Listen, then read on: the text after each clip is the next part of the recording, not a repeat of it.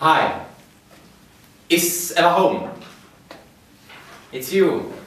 How are you, Eva? I'm fine too, thanks. Mm, do you like to go for a bicycle ride sometimes? Yes! Ah, okay, okay. So we can do it next Friday. Swinging again. Ah, okay. Uh, Lukas Liebig? Yeah, I, I meant it would be like sort of a date, yeah.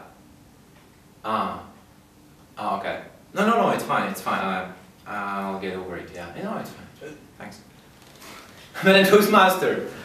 Fellow Toastmasters, dear guests, I'd like to set the expectations right at this moment. If you're expecting from the title of my story is going to be romantic or exciting or something about my successes with women, you're totally off right?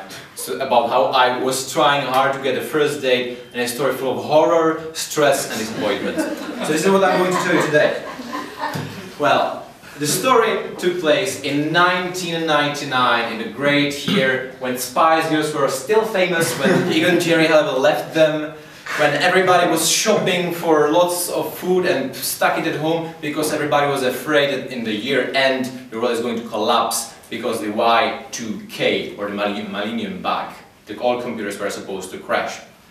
But at that time I was 15 and it seemed to me that all my peers are starting a family, or at least on the right way to do it, while I, at the time, I didn't have, didn't have even a single date with a girl. At that moment, I was sure I need to do something about it. So, because I didn't know Daniel then, I turned to the second next person, which was which was my grandmother. So, so I came to my grandmother and told her about promise. She and she said, "Yeah, it's a difficult situation. Well, in my age, uh, well, in my time, we were always meeting the boys at the tea after the dancing class." Uh, but I don't know whether this is relevant today. But wait, I've seen a movie recently. It's called You've Got Email with Tom Hanks and Meg Ryan.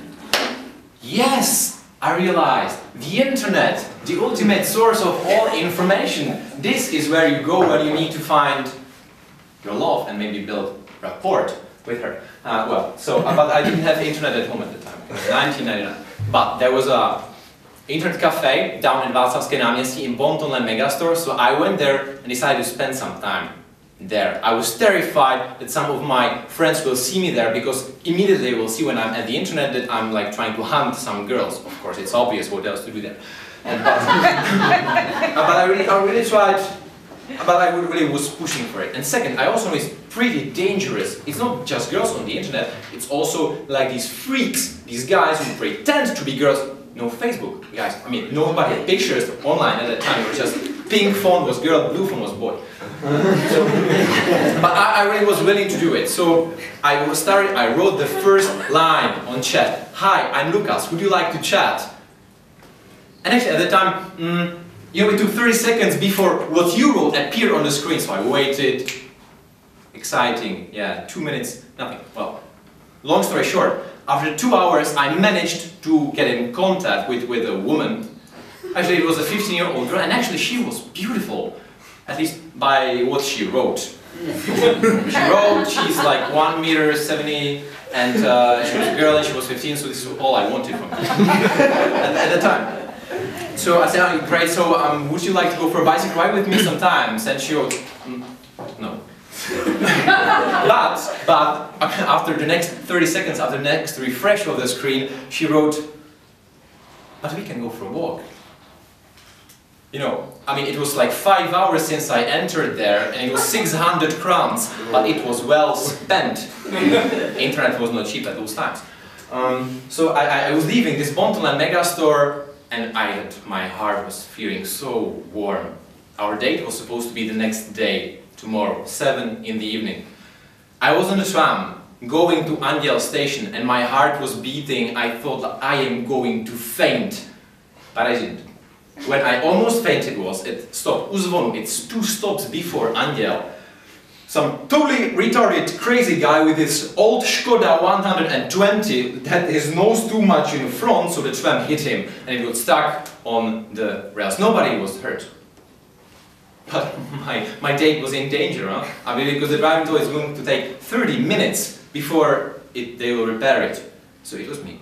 Station Uzvonu. Between me and Anděl, the most dangerous area of Prague. But on the other side, it was the woman of my dreams. Man, so I just, okay, this decision needs to be taken quickly. I jumped out, ran 30 kilometers per hour, went all the way to Anděl, went to the stop, arrived there, and there she was. I was sweating, breathing heavily, but there she was, tall, 1 meter 70, beautiful, blue eyes like a painting. I came to her, I say, Hi, are you Eliška? She said, No. Dates over internet suck, I tell you.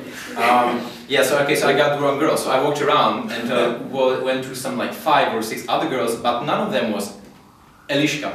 So uh, it was kind of difficult. Mm. Yeah, so I mean, after, after the time I decided, okay, maybe it's I should better go home.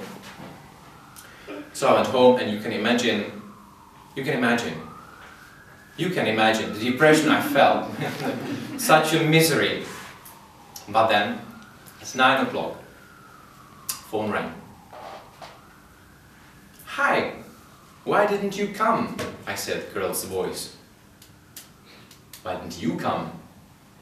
I was there at Anděl station. Yes, so was I. I was Anděl station, train number 9, direction city center.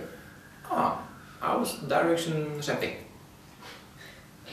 Yeah, she was. We were there, she was there. And if you're expecting a happy end, yes, you are right.